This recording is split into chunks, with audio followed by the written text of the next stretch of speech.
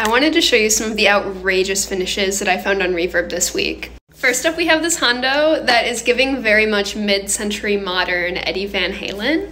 Like, you know, I would have assumed that a Versailles themed guitar would be headless. Okay, sorry, that was dark. It's so pretty though. This looks like a teapot. For when your vocals stir it up, this is certainly a microphone. For those of us who could not wear enough silver aluminum jewelry, more is more. This one is just so pretty. It's so glittery.